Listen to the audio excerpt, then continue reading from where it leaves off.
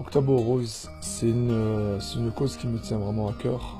Moi particulièrement, malgré que je veux dire que j'ai pas eu de, de personnes de ma famille ou de mes proches qui ont été touchés par un cancer de sein, mais j'ai eu mon père qui, était, qui est décédé d'un cancer, donc c'est quelque chose qui me tient vraiment à cœur.